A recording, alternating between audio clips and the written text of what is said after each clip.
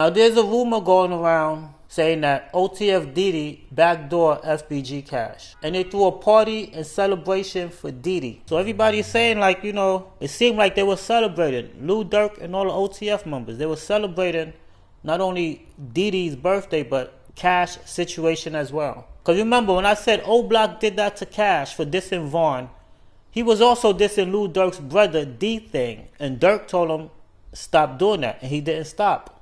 So whenever I say oh, O Block do something, you must include Durk Also, I'm talking about him too, not just the O Block members. You understand? Because he's the money machine behind them. FBG Duck, murder was paid for. FBG Cash, murder was paid for. These ain't just regular shootings. No, there's a money machine behind these things that's going on.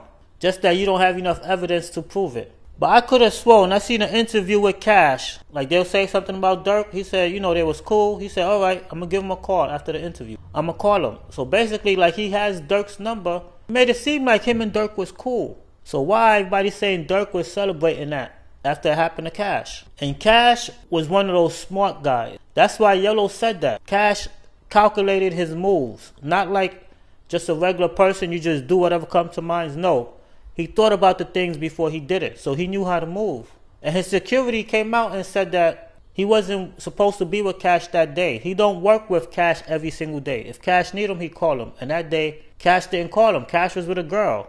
Because some people is trying to go around saying like the security probably knew about it. He already spoke about the situation.